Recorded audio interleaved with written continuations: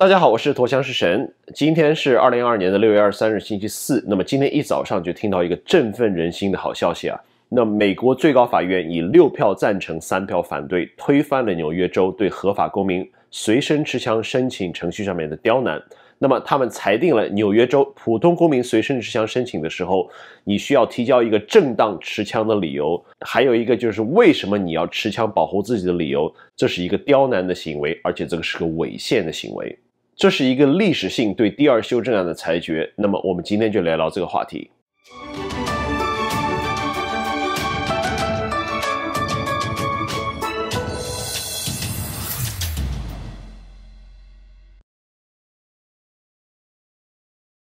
声明一下，我不是律师。这期视频是以我在美国生活的经验，还有对美国社会法律认知的产物。那么，美国最高法院在今天早上。对 New York State Rifle and Pistol Association vs. Bruin 这个案件的最终裁决，它也就是纽约州步枪手枪协会状告纽约州的总警长 Kevin Bruin，他们胜诉了。这几个案件是二零二一年的十一月三号开始审理，然后在今天，也就是六月二十三号的二零二二年，法院最终裁定，然后在网上发布了他们裁定结果。呃，裁决书里面的摘要啊，这是我看到的，然后我理解的就是说是这个最高法认为，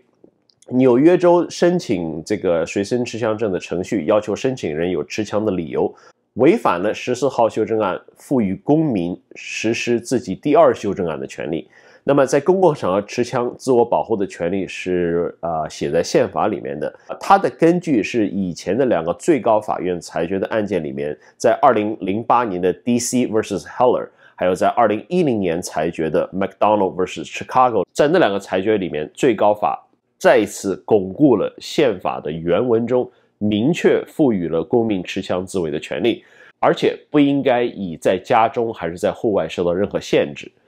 这个裁决还说，政府的枪械政策和法律一定要遵循宪法的原文、国家的历史还有传统。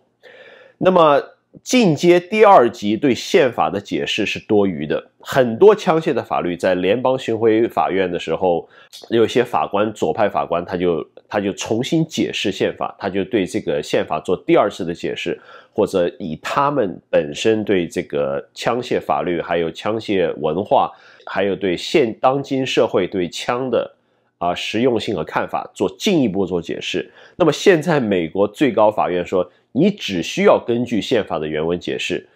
你只需要看历史，只需要看我们这个国家的传统，你不需要再次解释为什么枪械法律依照你的认知，还有在现在这个社会合不合法。其实这个才是这个裁决最重要的一节。那么这个裁决的内容决定了很多还停滞在联邦中级法院，因为他们一直在等这个最高法院对这个案件做出的裁定。就是这个裁决还有这个裁决书里面这些内容呢，基本上可以说是就是狠狠的给了那些左派法官们一个耳光，说孙子们，你们听好了啊，以后你不要给我胡搅蛮缠，一加一就是二，你不要给我用什么火星的那些数学做题。读了四书五经以后，你可以背诵原文，但是你不要擅自带圣贤立言。你不可以说是我背出来一个六书七经出来。最后给大家总结一下：纽约州刁难公民申请呃随身持枪证的复杂的程序，还有必须要求他们有一个理由才去申请的，是违宪。这是总个这个裁决的一个呃结果。他们不可以拒绝一个人申请随身持枪证。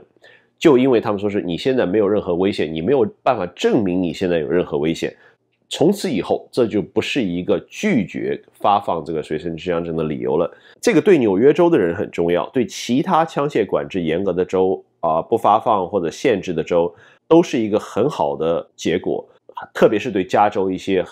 呃申请随身持枪证很难的郡县，也是一个起到了一个震慑还有警告的作用。我本身就在加州，加州有五十八个郡县，其中三十五个郡郡县申请是没有什么难度的，但是另外二十三个就不是了。啊，有的他们不是刁难，就是根本就不发放，或者你申请了以后，也就是好像啊肉包子打狗一去不回头，你就看不到，你就听不到任何的反应，你就听不到任何的结果，他就一直把那个申请书压在那边，基本上就是不发放。啊，特别是像三藩市啊郡县还有。呃洛杉矶郡县，他们这些呃比较左派聚集的郡县，呃最为严重，基本上你根本拿不到。那么这个最高法院的裁决出来以后，他们就要掂量一下了。还有就是要求所有的法院审理这些有关枪械或者第二修正案这个有关的法律的时候。不可以使用超过宪法原文、历史和传统以外的理由通过或者说是支持一些限制枪械自由的法律。啊，提醒一下，这个裁决不是意味着纽约州的人可以马上随便今天开始就带着枪上街了，也不是说是全美国的人都可以带枪上街了。这个裁决只是扫清了纽约和其他一些州发放这个持枪许可证啊的障碍。我们还有很长的路要走。除了可以合法的随身持枪，还有另外一个最重要的环节，就是你不应该惧怕你拔枪自卫以后的后果。这个话题我以后会呃深入的讨论一下。今天这个消息是我很久没听到过的，很振奋人心的一个裁决了。那么今天第一时间跟大家分享一下这个好消息。这只是对左派禁枪狂潮反击的开始，还有很多事情我们在期待中，比如说加州这个弹匣容量案件。最终的结果等等，那么左派的政客一定会有反击的，他们一定会反击。我们就让子弹飞一会儿，然后我们看看他们的反应。这场仗呢，旷日持久，不是开始，也不是结束，这只是一个战役的胜利。我会把我以前讲过有关随身持枪证的视频放到呃置顶留言当中，大家可以参考去看一下。还有这个最高法院裁决原文的链接，我也会放到视频下方。以后我会跟进这些案件，跟大家及时分享。我最近在制作一系列 AR 十五步枪的视频，在那一套视频做完了以后呢，我会再跟大家深入谈谈我对美国 NRA 这个组织，就是美国全美步枪协会的看法。另外一个话题想跟大家探讨的就是说，是我们在美国的华人应该何去何从，以什么样的态度去面对以后这个社会发展的趋势。